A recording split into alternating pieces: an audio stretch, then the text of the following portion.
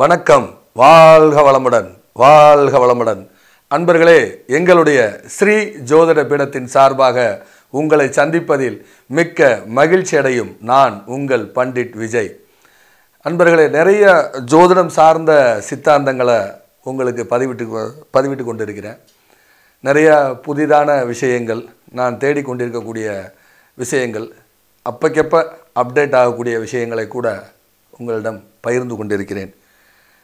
நிறைய அன்பர்கள் கேட்டுக்கொண்டதுக்கு இணங்க நிறையா இந்த எங்களுடைய யூடியூப் சேனல் பார்த்துட்டு நிறையா அதை அதை பார்த்து என்கிட்ட அப்பாயின்மெண்ட் வாங்கி ஜாதகம் பார்த்த அன்பர்கள் நிறைய பேர் நண்பர்களாக மாறி இருக்கிறாங்க அவங்கெல்லாம் அந்த குரு பயிற்சி பலன்கள் நீங்கள் சொல்லலாமே அப்படின்னு கேட்கும் பொழுது யூஸ்வலாக எல்லாருமே சொல்கிறாங்க குரு பயிற்சி பலன். நானும் சொல்லணுமா? இல்லை அவசியம் சொல்லுங்கள் உங்கள் ஸ்டைலுக்கு சொல்லுங்கள் அப்படின்னு கேட்டதுனால என்னுடைய முறைகளில் இந்த குரு பயிற்சி பலன் வரக்கூடிய இருபத்தி எட்டு பத்து ரெண்டாயிரத்தி பத்தொம்போது அன்று பொன்னவன் என்று அழைக்கக்கூடிய குரு பகவான் விருச்சிக ராசியிலிருந்து பயிற்சி ஆகி தனது சொந்த வீடான தனுசு மண்டலத்திற்குள் பிரவேசிக்க இருக்கிறார். இதனுடைய பலன் ரொம்ப ஒரு அற்புதமான ஒரு பலன்.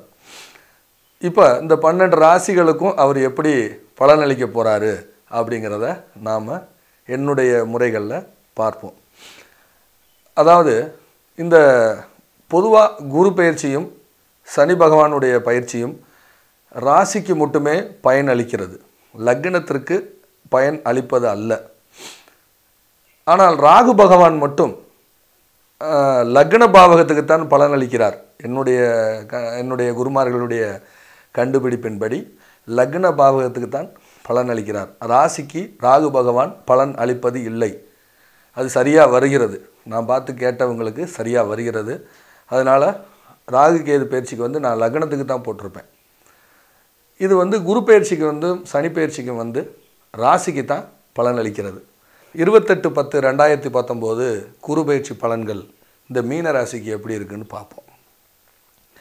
பொதுவாக பத்தில் குரு வந் பத்தில் குரு வந்தால் பொதுவாக பொதுவாக பத்தில் குரு வந்தால் பதவி போயிடும் உத்தியோகம் போயிடும் கௌரவ பாதிப்பு ஏற்படும் அப்படிங்கிற ஒரு கருத்து இருக்குது அதை நான் மறுக்கலை.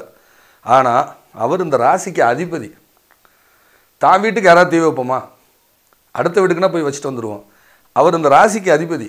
மீன ராசிக்கு அதிபதியே பொன்னவன் குரு.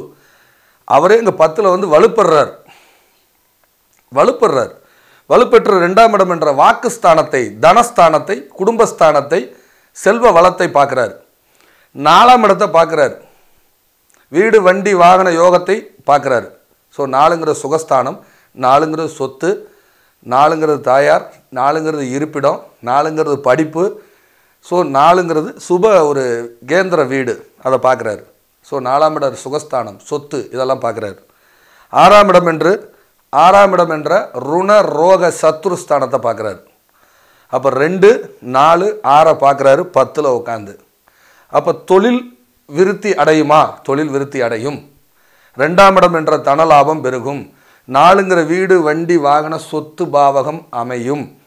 ஆறுங்கிற கடன் உபாதை சரியாகும். சரி ரெண்டாம் இடங்கிறது பெரியம்மா எங்கள் பெரியம்மா ரொம்ப நாளாக உடல்நிலை சரியில்லாமல் இருக்காங்க. நாலுங்கிற சுகஸ்தானம் சரியில்லாமல் இருக்காங்க. ஆறுங்கிற வயிற்று உபாதையில் இருக்காங்க. அவங்களுக்கு ஏதாவது கற்பை கற்பப்பை பிரச்சனை இருக்குது ஸோ அது உங்களுக்கு ஏதாவது ஒரு சர்ஜரி ஏதாவது பண்ணணுமா? பண்ண வேண்டிய சூழல் ஏற்படுமா? கண்டிப்பாக ஏற்படும். அதுக்கு பணம் செலவாகும். ஹெல்த் ஆரோக்கியம் நார்மல் ஆயிரும். ஒரு சர்ஜரி மூலமாக நார்மல் ஆகும்.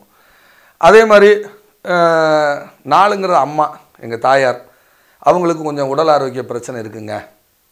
ஸோ அவங்களுக்கு ஏதாவது ஒரு சர்ஜரி பண்ணி சரியாகுமா?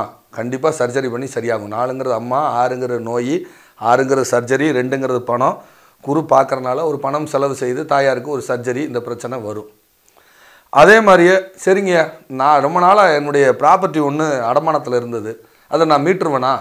பணம் அது கிடைக்குமா? பணம் கிடைக்கும். தொழில் இப்போ மாற்றி செய்யலாமா? மாற்றி செய்யலாம்.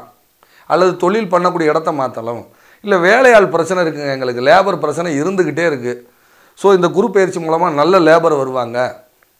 அவங்க மூலம் ஆதாயம் கிடைக்கும். ஆறுங்கிறது வேலை பத்துங்கிறது தொழில் ரெண்டுங்கிறது வருமானம். சில பேர் நிறையா இந்த மென் பவர் ஜாப்லாம் பண்ணுவாங்க. இந்த மென் பவர் ஜாப் அவங்களுக்கு இது நல்ல ஒரு ஏற்றமான காலம். இந்த செக்யூரிட்டி கம்பெனிஸ் இந்த மாதிரி ஹவுஸ் கீப்பிங் இந்த மாதிரியான மென்பவர் செய்கிறவங்களுக்கு ரெண்டுங்கிறது பணம் ஆறுங்கிறது வேலையாட்கள் நாலுங்கிறது அவங்க மூலம் ஆதாயம் குறு லாபம். அதே மாதிரியே ஒரு குழந்தை சரியாக படிக்க மாட்டேங்குது ஏதாவது டியூஷன் மாற்றலாமா நாலுங்கிறது படிப்பு. டியூஷன் மாற்றலாம் சரி ரெண்டு வயசு ஆயிடுச்சு கொஞ்சம் ஏஜ் ஆயிடுச்சு ரெண்டுங்கிறது கண்ணு நேத்திரம். கண்ணில் ஒரு பிரச்சனை இருக்குங்க. அந்த பிரச்சனை சால்வ் ஆகுமா? ஆறுங்கிற சர்ஜரி மூலம் ரெண்டுங்கிற செலவு மூலம் கண் பிரச்சனை சால்வ் ஆகும். இந்த மீன லக்னத்துக்கு ஒரு எக்ஸ்போர்ட் இம்போர்ட் பண்ணிகிட்டு இருக்கிறோம். எக்ஸ்போர்ட்ஸ் கம்பெனி நிறைய பேர் பார்த்தீங்கன்னா மீனம் தான் எக்ஸ்போர்ட்ஸ் இருக்கும். அப்போ இந்த எக்ஸ்போர்ட் பண்ணிகிட்டு இருக்கிறோம். அதில் எங்களுக்கு ஆதாயம் கிடைக்குமா? லாபம் கிடைக்குமா? லாபம் கிடைக்கும். பத்தில் வந்த குரு பகவான் ரெண்டாம் இடத்தை பார்க்குறாரு. அதே மாதிரி ரியல் எஸ்டேட் பண்ணிகிட்டு இருக்கிறோம். நாலுங்கிற ரியல் எஸ்டேட்டு அது ஆறுங்கிற பிரேக் ஆகி நிற்கிது வருமானமே இல்லை. எங்கள் பிளாட்டெல்லாம் போட்டது செயலாகுமா? செயலாகும்.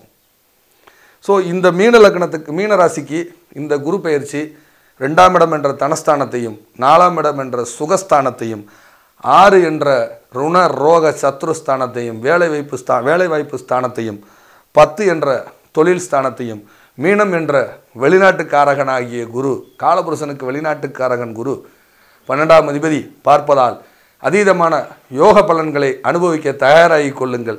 இப்போ இந்த இடங்களில் யாருக்கெல்லாம் மேசத்தில் சூரியன் மேசத்தில் செவ்வா மேசத்தில் புதன் மேசத்தில் குரு மேசத்தில் சுக்கரன் மேசத்தில் சனி அதே மாதிரி மிதுன ராசியில் சூரியன் மிதுன ராசியில் செவ்வா மிதுனத்தில் சுக்கரன் மிதுனத்தில் புதன் மிதுனத்தில் குரு மிதுனத்தில் சனி.